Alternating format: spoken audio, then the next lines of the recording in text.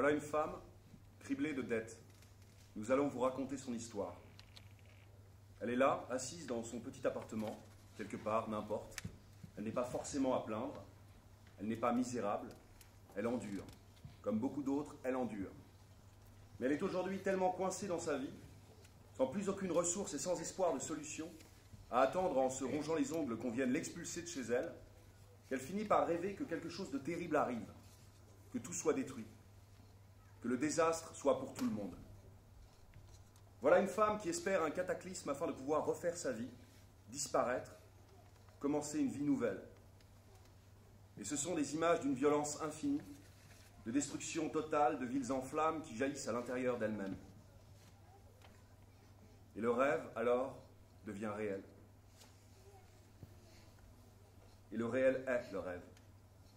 La catastrophe advient, un séisme, tout s'effondre.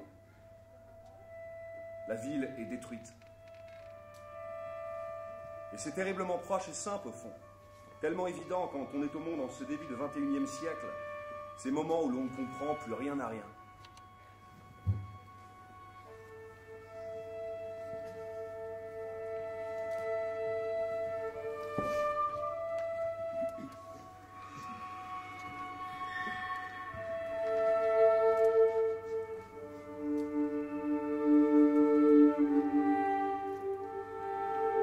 Sur les plaines circulent à l'aube des animaux amples et majestueux. Ils avancent à travers ruines et gravats dans les parcs industriels, près des stades. Quartier sud, zone abandonnée d'Escandar. De grands cerfs évoluent à travers bois. Des lions traversent les avenues, s'attardent près des arbres. Devant les yeux éteints des statues de conquérants recouverts de lierre, mugissent près du périphérique et dansent dans le soir. Passage dans le crépuscule rouge d'éléphants somptueux. Leur parissement grimpe le long de parois abîmées, vastes immeubles.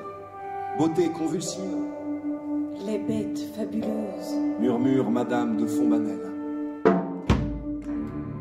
Madame de Fontbanel, il est 7 heures, charge son fusil en or, loin des salons poussifs et inquiets et de l'heure du thé, loin. Madame de Fontbanel, sa veste noire, son corps d'abeille sous amphétamine.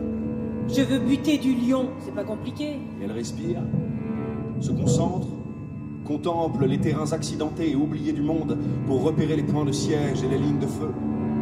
Beauté radicale de Madame de Fontbanel quand elle charge son arme, quartier sud, zone abandonnée d'Escandar, où rien d'autre ne circule, Que les bêtes fabuleuses. selon Madame de Fontbanel.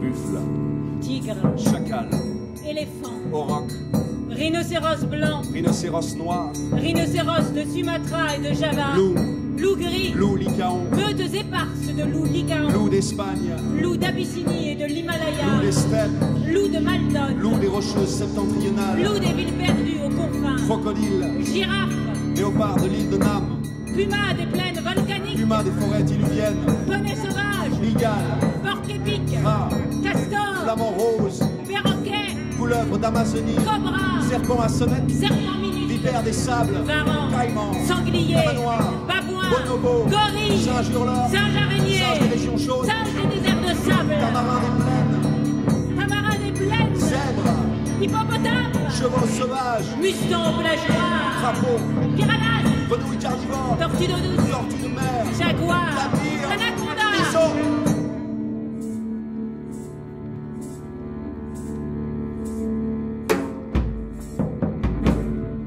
Le zoo d'Escandar a été détruit par le séisme. Les animaux ont retrouvé leur liberté, craché de la terre, jailli des crevasses et des failles. En cinq jours, beaucoup d'entre eux sont morts, les petits singes, les oiseaux des tropiques. Mais il y aurait une centaine de lions qui circuleraient dans les ruines sur les plaines mortes et blanches. N'est-ce pas fabuleux? Des lions, comme les enfants en parlent toujours et qui courent le plus vite, le lion, le tigre ou le léopard. Le léopard, c'est certain, mais le lion n'a-t-il pas cette prestance, cette grandeur, cette adhésion lourde et majestueuse au sol? Et en tuer un vous révèle quelque chose de l'indémêlable mystère de la chasse et du meurtre? Et n'en va-t-il pas du destin même de la ville d'Escandar